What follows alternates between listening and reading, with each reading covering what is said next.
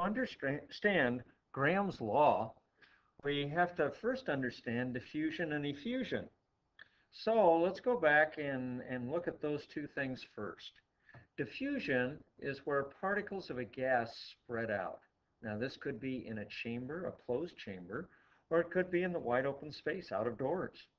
But diffusion is where particles move through a, another gas to get to a point that we call equilibrium, where they're spread out and evenly spaced throughout whatever uh, space they have to spread out in. And in effusion, we have a different situation only in the sense that the particles as they spread out are going to hit the walls of a chamber and there's going to be a hole in that chamber somewhere. So as the particles spread, when they hit the opening, they will be able to exit the chamber, and we call that effusion, where the particles of the gas must pass through a small opening. Normally going to be a small opening, but it could be a large opening. Either way, it has to go through an opening. Now, Graham's law works well with both effusion and diffusion. Now, I want to show you an example of each by going to some special videos that are not videos, but uh, gas simulators. And I'm going to my web helps page on my website, Mr. Wigger's chemistry class website, mrwiggerside.com forward slash chem. And anybody can go here. You go to Learning Center and then go to Web Helps. And then you go down and click Chapter 13, and that will take you to this page. So what I'm going to do first of all is let's release some perfume in a closed chamber that has some gas in it and let's see what happens. Now this remember is a gas simulator. So the first thing we want to do is the setup and then we're going to tell it that we want it to trace one of the gas particles of the perfume. And then we're going to go ahead and turn the movement on and release the perfume. And now you can see that stuff spreading out. And by the way, you can stop this at any time and then continue. So you can kind of see what's going on. And notice some of the particles are already in the box at the top. But very few of the particles are moving in a straight line. Most of them are moving the way our little traced object moves. Definitely not in a straight line. Now let me clear out the traces and let's look again as this guy's moving through space. All right, we'll show the, we're going to show tracing now again. And that tracing is going to happen just like it did before. And let's see, there we go. For some reason, the tracing isn't working as well on the re redo. Anyway, we can clear those traces, get them out of the way. And now as you watch the molecules, you notice some of them are moving faster than others. And at this point in time, we're pretty much even throughout the entire space available. This is called diffusion, and it goes until we get to equilibrium, or things are spread out as much as they can spread, and they're relatively even throughout the, the this chamber. Now, let's go back and let's watch a video, or not a video, but a, again, it's a gas simulator, to see effusion.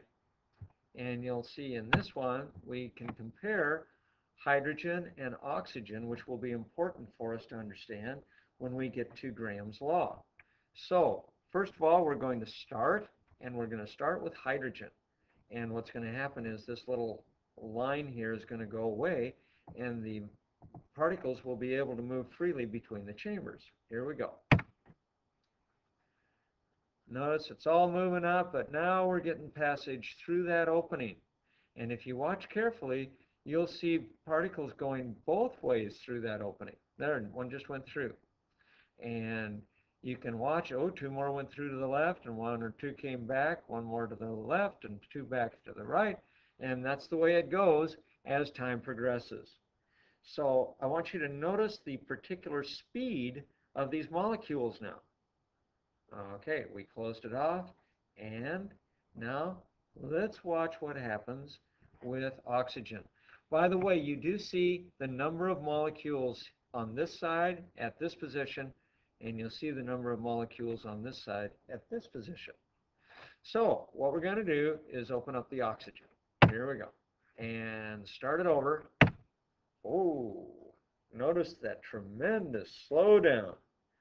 Why? O2, the mass, the molar mass of O2 is going to be 32 grams. The molar mass of two hydrogens for H2 is only 2 grams. So these guys are 16 times bigger and they're moving a whole lot slower, but they are still going through our opening, which is an indication of effusion. And in this case, the effusion goes both ways because this the chamber on the left is the same size as the chamber on the right, and we're also seeing that if the chamber were on the left without any walls, those molecules would probably go bye-bye, and all of the molecules would leave the box. So this is our difference between effusion and diffusion. Now let's go back and let's look at what we had to start with. We have diffusion and effusion, and we also have Graham's law. Well, what is Graham's law? Let's look at it. We have, first of all, the rate of diffusion